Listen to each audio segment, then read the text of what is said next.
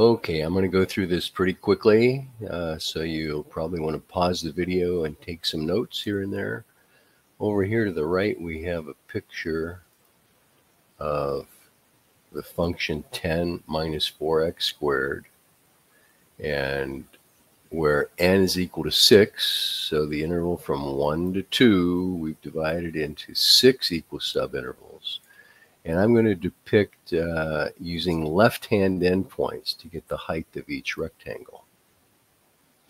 Then we're going to find the area of each rectangle, and then we're going to add them together, and then we're going to let n approach infinity and see what number we get. So the more rectangles we get, the closer we get to the true area under the curve. Okay, so delta x, the width of each of these little rectangles, if n equals 1 is 2 minus 1 over n. So there's delta x right there, 1 over n. Now, to, this is the hard part, I guess, is to picture a formula for each of the left-hand endpoints that we'll use to calculate the areas. So if you think of it this way, the left-hand endpoint for the first rectangle, we start at 1 and we add on 0 widths uh, to get to this this second left hand endpoint, we start at one and add on one of these widths, and so on. Two of these widths for x sub 3. So the formula for the ith left hand endpoint is start at 1 plus i minus 1 over n. In other words, uh, this number right here is 1 less than i. And so there's a formula for the ith left-hand endpoint.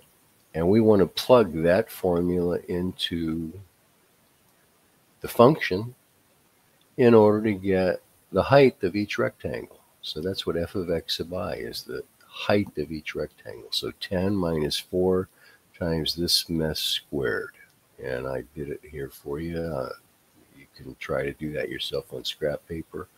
And then a of x sub i will equal f of x sub i times the width of each of these little rectangles. So that's what we're looking at there. And we want to add those all together from 1 to n, i equals 1 to n, and let n approach infinity.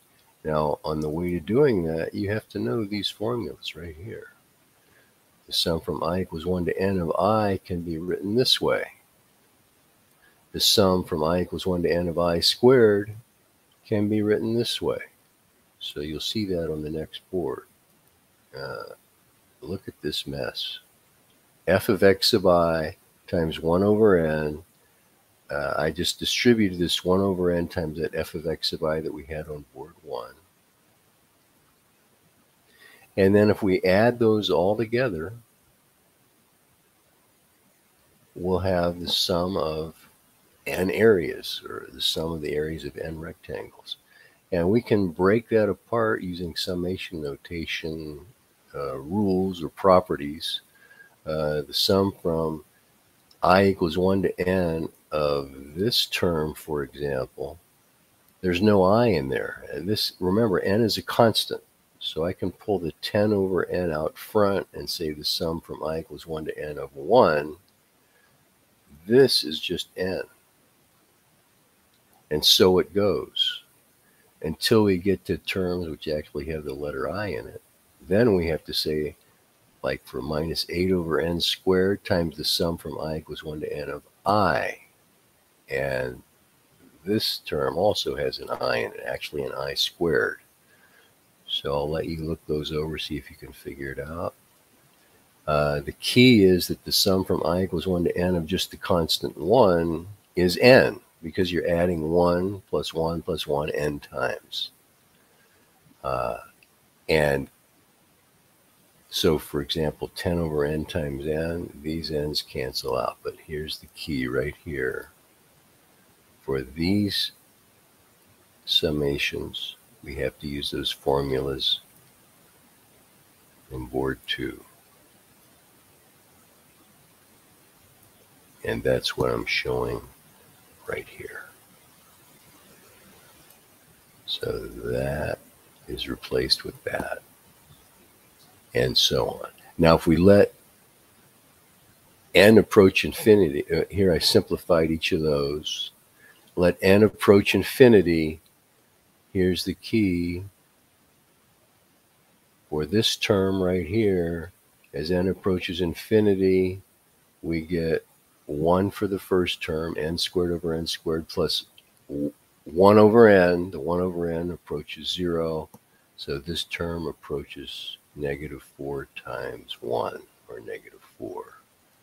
And this term right here, if you do, picture dividing n cubed into each term in the numerator, I get negative 4 6 times 2. All these other terms approach 0. Uh, 8 over n approaches 0.